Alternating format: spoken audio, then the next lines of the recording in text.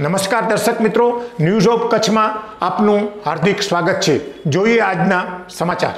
કચ્છમાં જુદી જુદી જગ્યાએ પાંચ સ્થળોએ પોલીસે દરોડા પાડી અને જુગાર રમતા અઢાર ખેલીઓને પકડ્યા અને ચાર લાખનો મુદ્દામાલ કબજે કર્યો.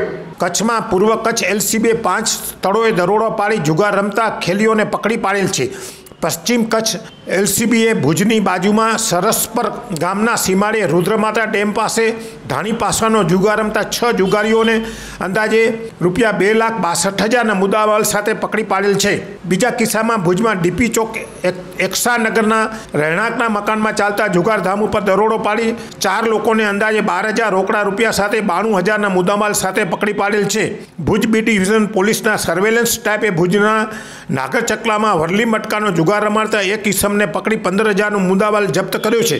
માંડવીના કાંઠાવાડા નાકા બહાર બાવળની ઝાડીઓમાં તીનપતિ જુગાર રમતા ત્રણ લોકોને પોલીસે ઝડપ્યા છે અને ત્રણ લોકો નાસી ગયા છે. પાંચ હજાર છસો ને વીસ રૂપિયાનો મુદ્દામાલ જપ્ત કરવામાં આવેલ છે. બીજી બાજુ ગાંધીધામમાં મીઠી રોહડમાં દરગાહ પાસે પત્તા રમતા ચાર ખેલીને આશરે તેત્રીસો રૂપિયાના રોકડ સાથે ઝડપી પાડ્યા છે.